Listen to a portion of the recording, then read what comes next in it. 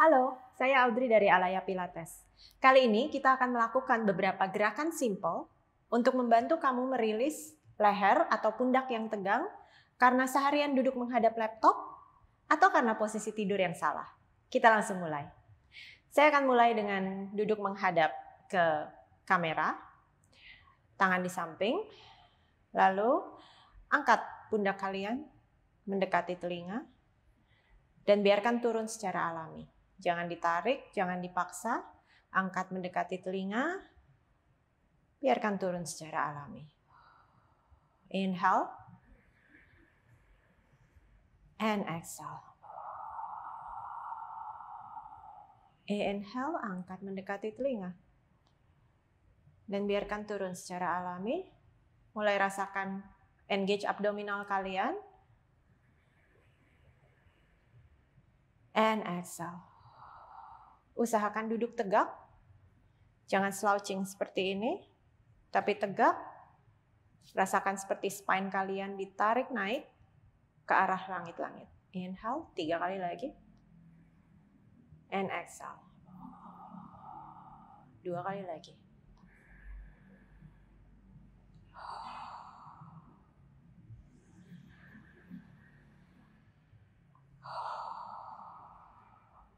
Now, kita akan roll the shoulder ke depan dulu, naik ke atas, bawa ke belakang, lalu biarkan turun secara alami. Ke depan, naik ke atas. Ke belakang, turun secara alami. Ke depan, naik ke atas, roll ke belakang, turun secara alami. Ke atas, waktu kalian bawa shoulder ke belakang, Bayangkan seperti chest kalian agak terbuka.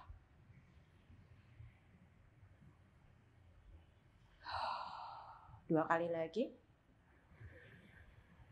Pertahankan abdominal sekalian tetap tetap aktif, jangan sampai slouching duduknya. Sekarang kita reverse, ke belakang dulu. Naik, tetap naik bawah ke depan, biarkan turun secara alami. Jangan ada gerakan yang terlalu dipaksakan. Rasakan shoulder kalian berputar, shoulder blades kalian bergerak. Kalau kalian sudah ter mulai terbiasa dengan gerakannya, lakukan dengan sedikit lebih natural, flowing. Dua kali lagi. Satu kali terakhir. Sekarang kita akan mengangkat lagi shoulder. Ini namanya shrug the shoulder. Lalu bawa tangan kalian naik ke atas dan rasakan ketika tangan kalian naik ke arah langit-langit, shoulder kalian secara natural akan turun. Bawa turun lagi tangan kalian. Naikkan pundak. Bawa perlahan-lahan, jangan ditahan shouldernya di atas, biarkan dia bergerak turun secara alami. Bayangkan seperti tangan kalian itu duduk lagi di atas armpit atau di atas bagian ketiak kalian. Lalu turunkan lagi. Up. And down. Dua kali lagi. Shoulder up. Tangan naik ke atas, biarkan shoulder bergerak turun, rasakan tulang belikat seperti gliding dan shoulder kalian turun. Turun lagi tangannya. Shoulder up. Arms up. Shoulder turun. Biarkan dia turun secara alami. Dan bawa tangan kembali ke bawah. Sekarang kita akan melakukan gerakan pada leher. Tilt ke, saya mulai ke sebelah kiri. Jangan ditarik, Jatuhkan saja kepala kalian ke sebelah kiri dan kanan. Biarkan kepala kalian yang memberati sehingga lehernya tilt ke kiri dan ke kanan.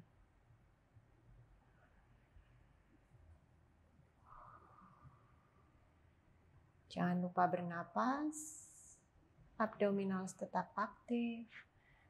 Sadari sitting bone atau tulang duduk kalian ada di atas matras. Biarkan shouldernya tetap turun ke bawah secara natural. Jangan ditarik, jangan dipaksa, jangan dibawa naik seperti ini. Biarkan dia turun. Sekarang kita akan tambahkan sedikit rotasi seperti menunduk ke depan, berpindah ke kiri, lalu bawa ke tengah lagi, tilt ke kiri, seperti menunduk ke depan, bawa ke tengah lagi, tilt ke kanan. Ketika kalian agak menunduk, di sini ada gerakan neck, neck flexion, rasakan. Rasanya seperti spine atau tulang punggung kalian ikut bergerak. Terus aktifkan abdominals, rasakan pergerakan di tulang punggung kalian. Satu kali lagi setiap sisi.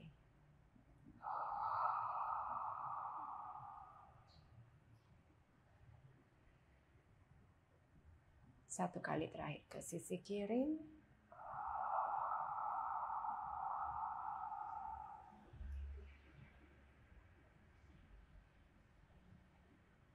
Oke, sekarang saya akan duduk membelakangi kamera. Supaya kalian bisa melihat shoulder blade saya. Saya akan mulai dengan tangan kanan. Angkat tangan kanan kira-kira setinggi bahu. Bayangkan shoulder blades atau tulang belikat atau skapula kalian seperti kalian tarik masuk yang sebelah kanan mendekati yang kiri lalu bawa keluar lagi. Lalu tarik masuk dan bawa keluar lagi. Usahakan supaya ketika kalian tarik masuk, shouldernya, pundaknya tidak naik seperti ini. Tapi hanya masuk ke tengah dan keluar lagi. Masukkan ke tengah dan keluar lagi. Rasakan skapula atau tulang belikat kalian seperti bergerak, gliding. Masuk ke tengah. Kalian boleh sedikit menggerakkan badan kalian. Tidak usah diam di tengah. Yang penting kalian merasakan ada gerakan di skapula. Dua kali lagi sisi kanan.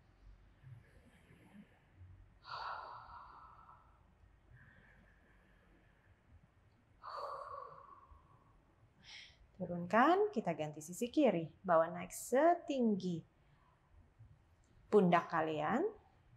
Lalu masukkan. Satu hal yang penting, jaga leher kalian tidak jatuh ke depan atau tidak menunduk, tapi jaga leher kalian setegak mungkin satu line dengan spine. Biarkan badan ikut bergerak. Jaga abdominal tetap aktif. Tiga kali lagi.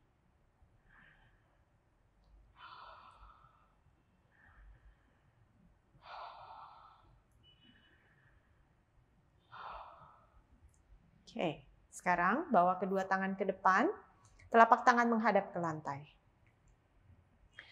Lalu bayangkan shoulder blades kalian seperti ditarik, shoulder blade saya seperti ditarik mendekati kamera ke arah belakang. Bukan ke atas. Tapi ke arah belakang. Lalu bayangkan seperti kalian ditarik dari jari ke arah depan. Inhale, tarik ke arah belakang. Exhale. Inhale ke belakang. Exhale. Inhale, seperti kalian akan mendekatkan shoulder blades kalian satu sama lain. Ditarik ke arah belakang, lalu jauhkan lagi satu sama lain. Seperti jari-jari kalian ditarik ke depan. Inhale. Exhale. Dua kali lagi. Inhale. Exhale. Satu kali terakhir.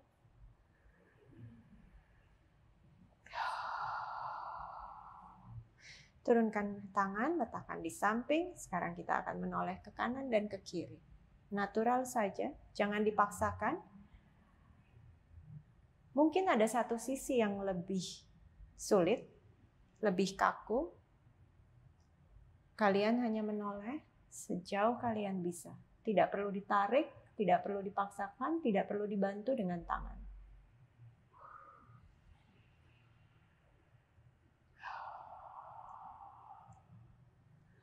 Tetap aktifkan abdominals.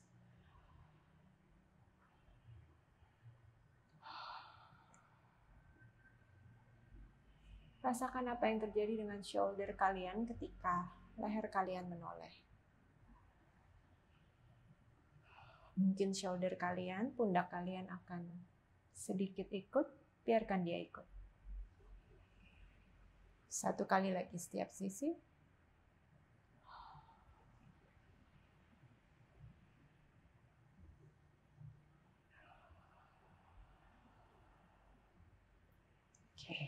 Sekarang saya akan duduk menyamping. Tekuk kakinya, letakkan seluruh telapak kaki di matras. Sitting bone ada di atas matras, lalu tangan di belakang kepala. Bayangkan seperti tangan kalian, seperti kepala kalian bersandar di telapak tangan. Lalu gently, perlahan-lahan Telapak tangan kalian seperti mendorong kepala kalian ke arah bawah, tapi tidak jatuh seperti ini.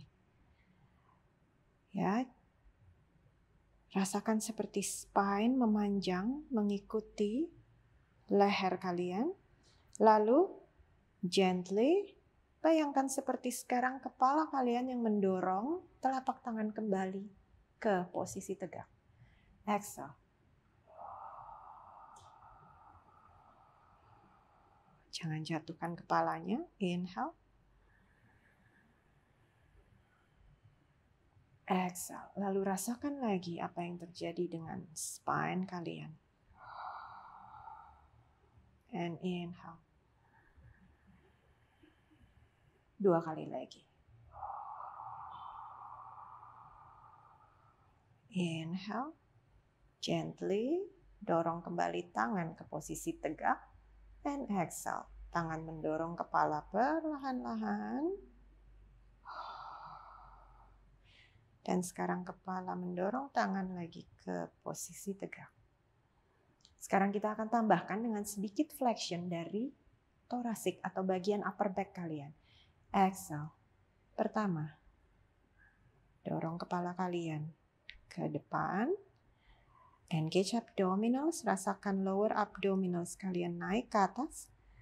Lalu mulai round bagian upper back kalian sehingga dada seperti turun sedikit mendekat ke arah abdominals atau perut. Inhale, exhale, tegak lagi, perlahan-lahan dari upper back baru ke leher. And exhale leher dulu, rounding, and then upper back rounding. Lehernya tetap di posisi yang sama, tidak jatuh lebih jauh. Inhale and exhale. Upper back tegak, baru leher. Tiga kali lagi, exhale.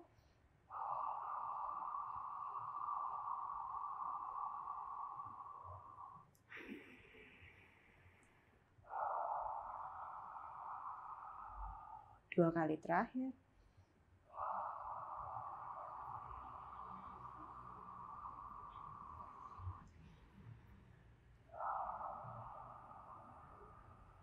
Satu kali lagi.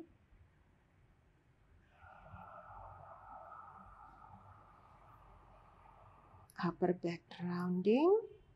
Ketika kalian kembali ke posisi tegak, upper back dulu. Baru leher kalian. Oke, sekarang letakkan tangan sedikit di belakang pundak.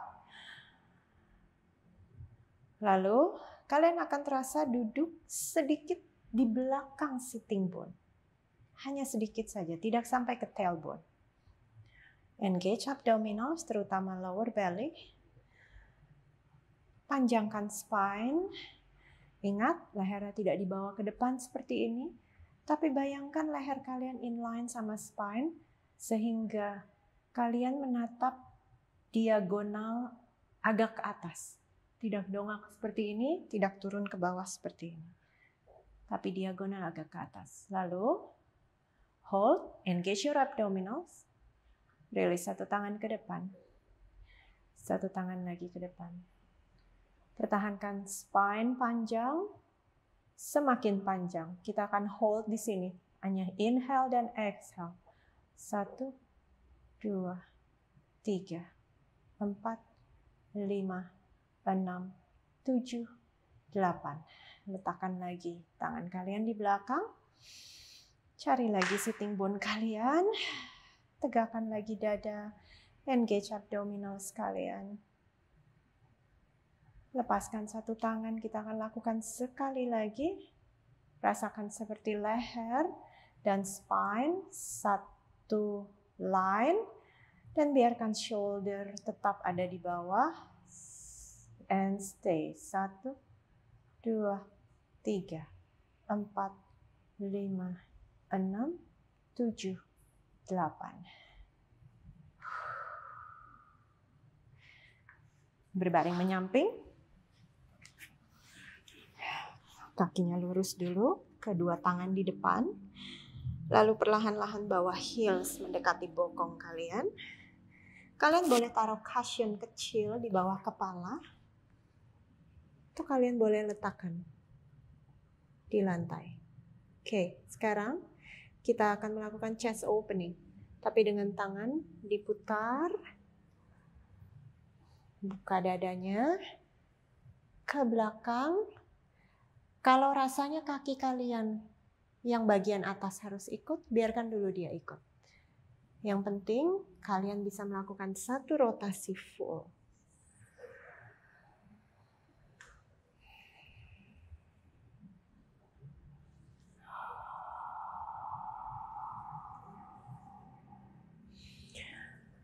Usahakan supaya jari bisa tetap menelusur di lantai.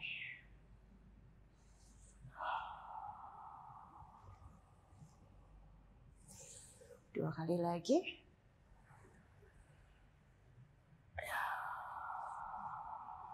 Rasakan bahwa dengan setiap repetisi kalian bisa membuka semakin lebar range of movement kalian semakin luas sehingga kaki tidak lagi terangkat seperti pertama kali.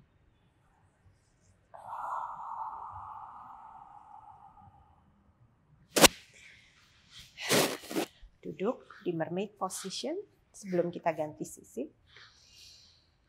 Bawa tangan kalian ke T position, turunkan sedikit lebih uh, rendah dari pundak supaya pundaknya tidak naik ke atas.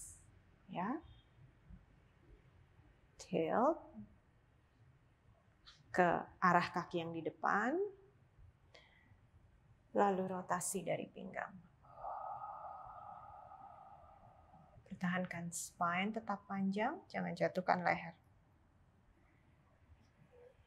Kembali ke posisi semula, perlahan-lahan kembali ke posisi duduk lagi. Dua kali lagi. Kita akan lakukan tiga kali setiap sisi.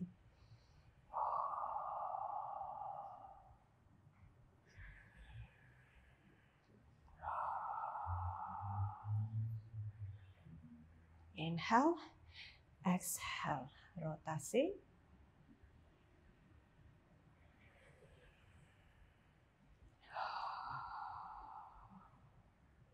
Oke.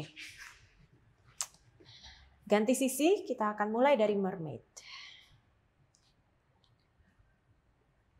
Buka tangan ke T position, turunkan sedikit lebih rendah dari pundak.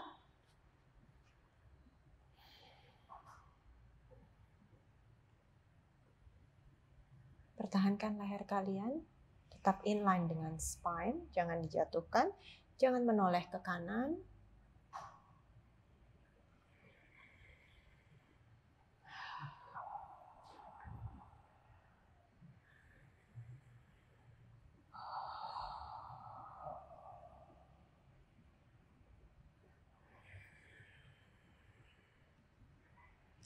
Rasakan mungkin ada satu sisi yang lebih sulit untuk melakukan rotasi. Ini adalah sisi saya yang lebih sulit.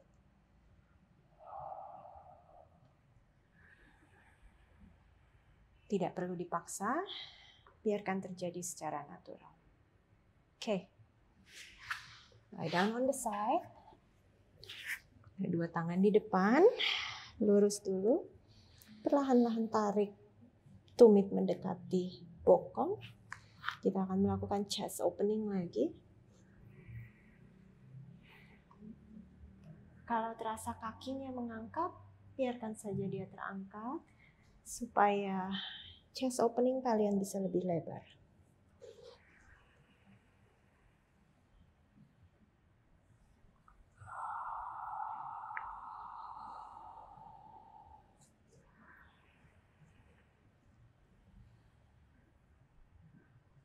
Sebisa mungkin pertahankan. Jari menyusur di lantai. Tiga kali lagi. Inhale.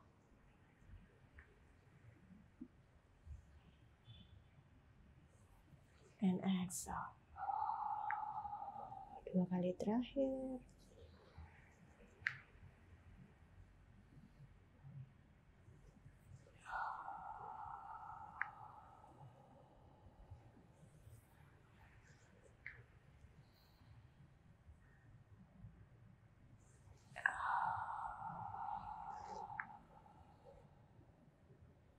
Oke, satu gerakan terakhir.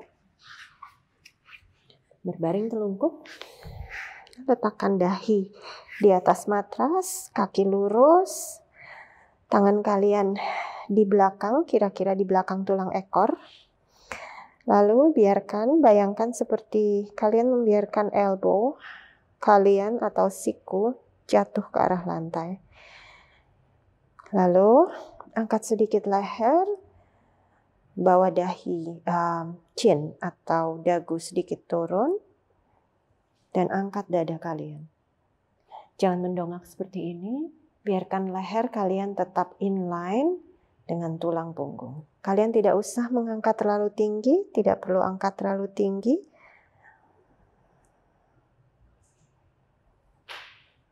Bring the chest up.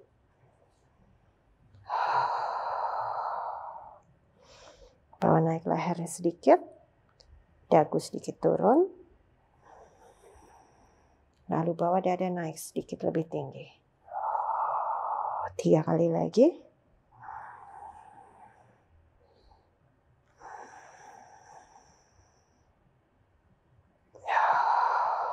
Dua kali terakhir inhale.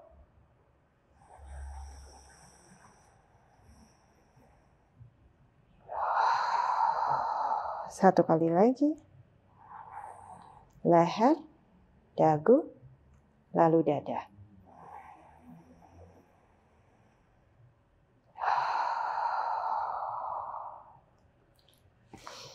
Tangan di samping.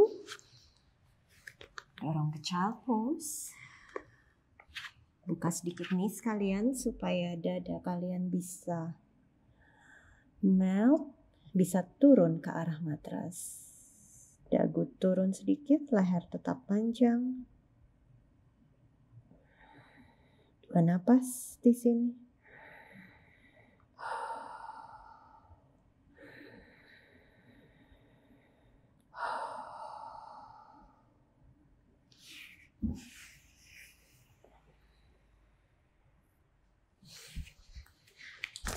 Kita sudah selesai.